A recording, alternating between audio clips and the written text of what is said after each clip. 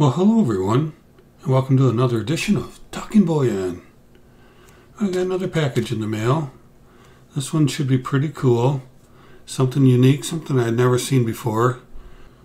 I'm interested to get into it and see if it came from the manufacturer like that, or if maybe somebody did it after it was purchased, because I've never seen it before.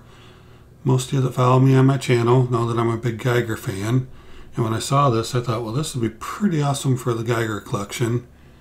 So why don't we go ahead and take a look.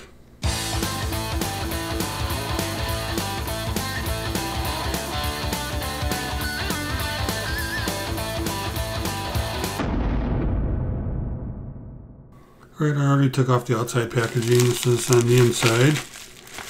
Uh, let's see what we have here. Oh, okay. Way down in the bottom. Pretty big package for such a small item, but look at this. Is this cool or what? It's a Geiger, an assay, but a black card. Like a credit card, the size of a credit card. You ever seen anything like that? I had never seen a Geiger bar, an assay like that. It's a 10 gram bar. 10 grams. Let's flip it over and take a look. Oh, yeah. It looks to be like their current assays as far as the details on it, but uh, I have never seen such a thing. Schloss Güldengossa. It's our castle there in Germany. What do you think, huh? 10 gram Geiger. Now, I did overpay for this, definitely, but I thought it was so unique that it was worth a little bit extra, you know? Have it for the collection. I've looked on eBay, I've looked around, I cannot find another one of these. I picked this up off of a auction online.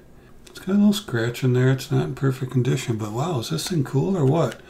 I really like this. Another 10 grammer to add to the collection. So let me see, we flip it. Nope, we flip it like this. So Geiger, 999 silver, 10 grams, Edelmetalle. As you know, I love me some Geiger, and uh, this is pretty darn cool. I'll add it to the collection and keep my eye out for any other sizes, like a 5 gram or 1 gram or a 20 gram, but yeah, this doesn't appear to be done outside of the manufacturer. This is all encased in there really nice. It's uh, there's very well put together, sealed, no problems with it there. So what do you think, huh? Is that a cool thing to add to the Geiger stack? I just thought that was pretty cool. Let's put down, zoom in a little bit. Now I've got my fingerprints all over it. Oh yeah, I really like that. That thing is really cool. Alright, well I just wanted to show you another collection for the Geiger stack. That's it for now. Thank you for watching. And always remember, let's keep talking bullion.